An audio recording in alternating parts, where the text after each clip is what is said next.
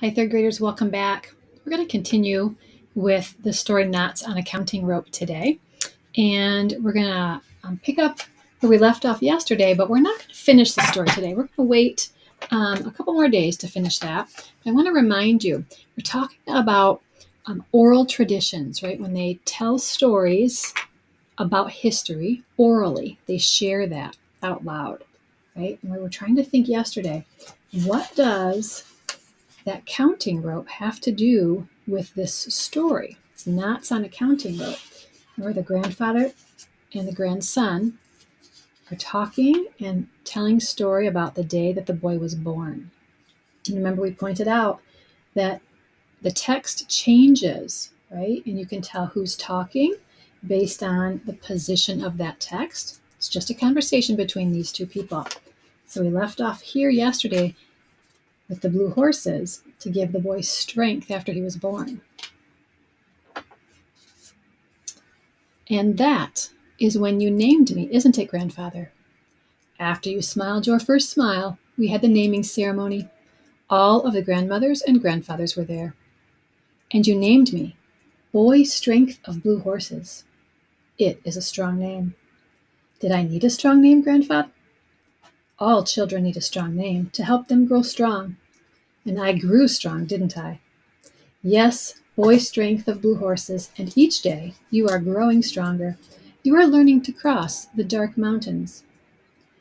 I already have crossed some of the dark mountains. There will be more, boy. Dark mountains are always around us. They have no beginnings, and they have no endings. But we know they're there, grandfather when we suddenly feel afraid. Yes, boy, afraid to do what we have to do. Will I always have to live in the dark?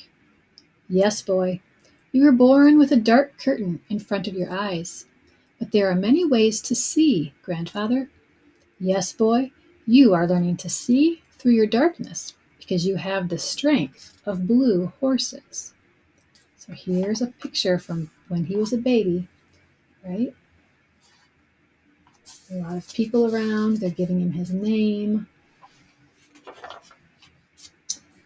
I see the horses with my hands, grandfather, but I cannot see the blue.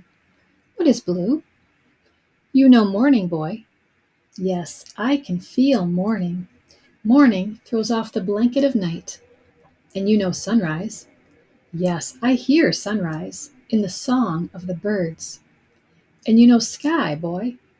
Yes, sky touches my face, soft like lamb's wool, and I breathe its softness. Blue is all of these. Blue is the feeling of a spring day beginning. Try, try to see it, boy. Blue? Blue? Blue is the morning, the sunrise, the sky, the song of the birds. Oh, I see it! Blue, blue. Blue is happiness, grandfather. I feel it in my heart.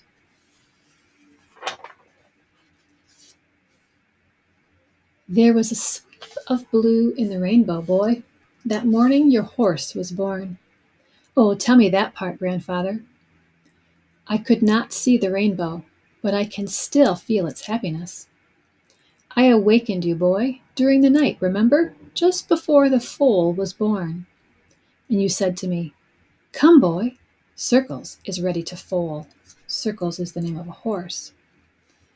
The colt will be yours. It was a long night of rain, cold rain, and we put a blanket over Circle's grandfather to keep her warm. Yes, boy, as the sun came through the clouds, the foal was born, and a rainbow danced across the sky. And it was a good sign, boy. And I named the little wet foal Rainbow. You have trained her well, boy, Rainbow is smart, grandfather. Like you, she is good at remembering. Remember, in the story, this is what's happening right now. They are sharing this counting rope, right, with knots on it. They're telling a story right now, back and forth. Right? But these pictures are are the story, right? When he was born, his grandfather took him outside. We gave him a name.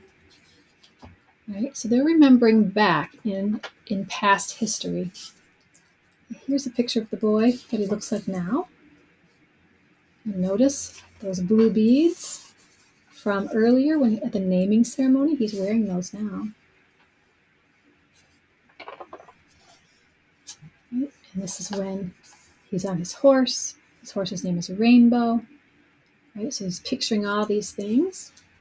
There's a lot of symbolism in this story. We've talked about symbolism before. There's also something called literal and non-literal language. It has to do with things kind of being right there and being obvious, and then thinking deeper. So we're going to look at a couple things, and we'll finish our story tomorrow.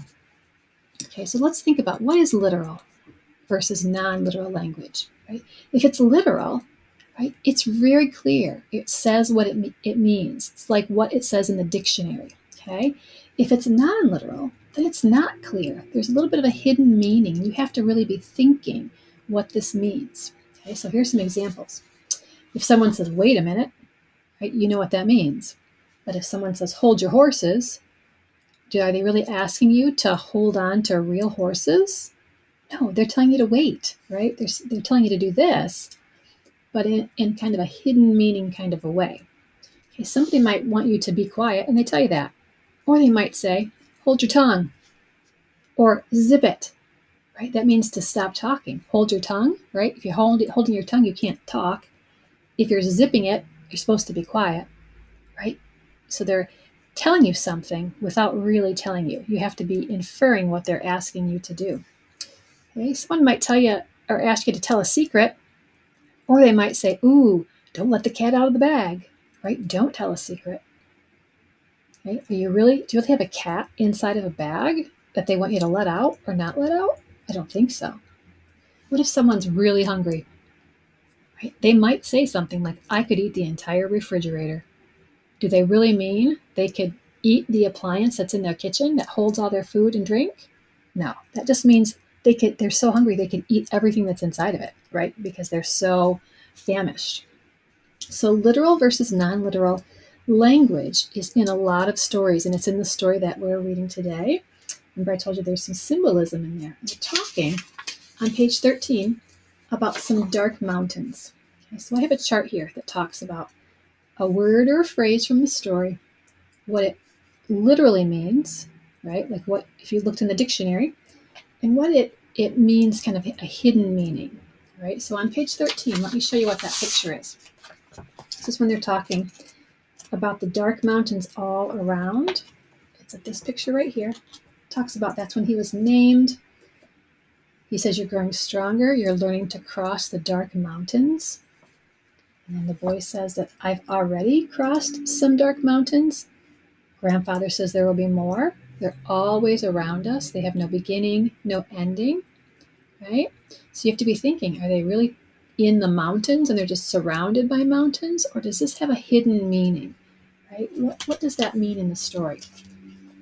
So on page 13, when they say dark mountains, if I'm literally thinking, what is a dark mountain? Well, it's mountains with no light, right?